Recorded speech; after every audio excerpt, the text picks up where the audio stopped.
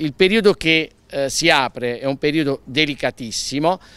ma che dobbiamo saper affrontare con responsabilità. La residenza sociosanitaria assistenziale per anziani Villa Giovanni XXIII di Bitonto in questo periodo di forte emergenza sanitaria che ha visto proprio le RSA e RSSA come focolai di coronavirus è rimasta fortunatamente senza contagi sia tra i 130 pazienti che tra le 100 unità del personale sanitario.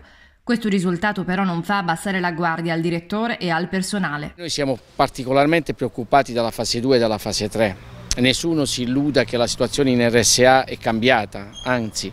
io dico e sto dicendo ai miei collaboratori che forse dobbiamo anche alzare ancora di più il livello di, diciamo, di protezione perché eh, come mi è più volte diciamo, capitato di dire quando si aprirà la fase 2 e la fase 3 noi a casa non incontreremo più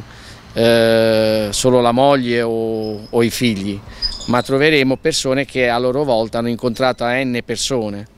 Eh, io vorrei ricordare che i nostri dipendenti eh, non sono stati sottoposti a tampone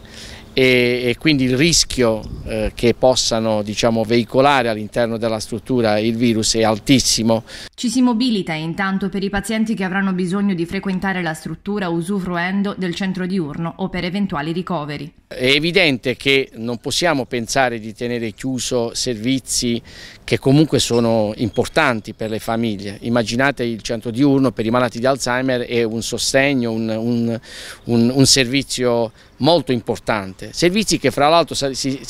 avvertiranno, diciamo, eh, di, di, cui si avvertirà l'urgenza soprattutto quando le persone torneranno a lavorare perché in questo momento la pressione anche e il blocco dei ricoveri è stato sostenuto perché le famiglie sono rimaste a casa, quando torneranno di nuovo a lavorare non potranno occuparsi dei loro cari che sono gravemente ammalati e non autosufficienti, è evidente che si dovrà pensare di nuovo a riaprire eh, il, il, ricovero anche dall'esterno. Bisognerà farlo con tutte le precauzioni possibili, tamponi all'ingresso, un isolamento per 15 giorni, fino a quando con sorveglianza attiva per vedere se sorgono sintomatologie.